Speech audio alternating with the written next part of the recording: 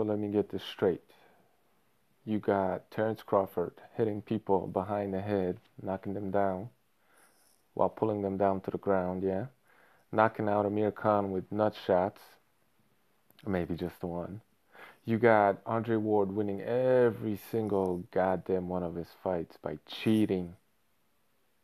You got Errol Spence being one of the dirtiest fighters you will ever see. Yeah? Winning on low blows, holding and hitting, head butting, all kinds of dirty shit. Yeah? But Shawn Porter is the dirty fighter. Have people lost their fucking minds? I went on boxing scene and you got all these boxing fans lying to themselves, saying how this was a close fight, how Errol Spence actually won something in this fight. Yeah, he did. The last two rounds, that's all he did. I gave Shawn Porter 10 rounds. He bossed him around. A lot of the rounds were competitive, but he whooped his ass. 10 to 2. I actually had him winning in the third round by disqualification. Maybe somebody will make a video highlight of all of Spence's low blows. Maybe I will one day. But I wasn't even counting, but I would venture I guess there were at least 50 low blows by Errol Spence Jr. Blatant low blows. How did he not get disqualified in this fight? How? Well, because American boxing is fake.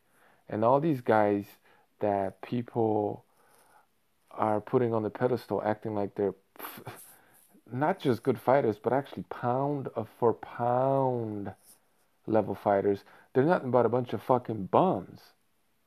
Amero bums. I'm not saying that Spence or Crawford aren't talented. I'm not saying that Andre Ward wasn't talented. But they're a bunch of dirty, slick bums. but we're going to talk about how Shawn Porter is dirty. Who was the dirty fighter in this fight? Now, look, I'm not saying Shawn Porter didn't break the rules here and there, but that's what you're supposed to do when you're getting fouled left and right. What is he supposed to do? Just let the other guy foul him? So he gave him back a little bit, but I mean, come on. Errol Spence started low blowing because he couldn't handle the pressure. He started headbutting because he couldn't handle the pressure. He started holding, which is a foul because he couldn't handle the pressure, right? Errol Spence Jr. should have lost this fight by disqualification before the sixth round, period. But Jack Reiss is warning Shawn Porter. And only when he had no choice, he would warn Spence because the fouls were just so blatant. I mean, he would put him on the ropes, grab him, put him on the ropes, Shawn Porter, that is, and start landing low blows in combination right on his fucking junk. Are you kidding me? Jack Reiss, after this fight, needed to be taken out back and shot. The commentating team, Marcos Villegas, he needs to be fucking tarred and feathered. The whole commentating team, they needs to be, they, they need, they need to be hanged and electrocuted just to make sure they don't come back to life. The judges, they need to be flogged and then tarred and feathered. Except Larry Hazzard, whose card was a little too close, but at least he had the right guy winning. This was a disgrace. This was another black eye on American boxing. American boxing is a fucking circus. It's a joke. It's a clown show.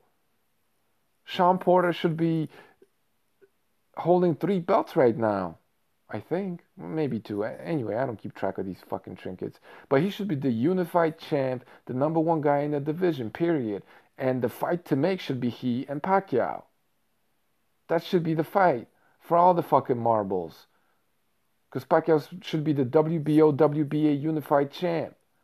Porter with the other two titles, bam, right there. Excellent. You're going to get an excellent, clean fight between two competitors who come to fucking fight. and it'll be a classic for the ages. And we would have had, because you know both of them guys would make that fight, and we would have had an undisputed welterweight champion. Probably Shawn Porter at this point. Although I wouldn't count Pacquiao out. I mean, wouldn't that be the story? What, what do we have instead? What do we have instead? Errol Spence Jr., who doesn't want to fight, he got two titles, but he doesn't want to fight Crawford, right? And and then we got Crawford, who pretends like he actually wants to fight somebody. When he won't even fucking fight Errol Spence's leftovers, Kell Brook. You kidding me? And then we have another one of these fights that ain't getting made. Everyone's talking about it like it's important or something, but it ain't getting made. And the real fucking fight, the one that should have been, never will be, should be for all the marbles, Shawn Porter versus Manny Pacquiao. Point blank motherfucking period, man. Shawn Porter won 10 to 2 on my card, but really by DQ in the third. I ain't watching this shit again, man. This was this was a disgrace. Another black guy for fucking American boxing.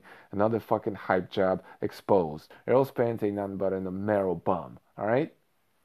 Thanks for watching.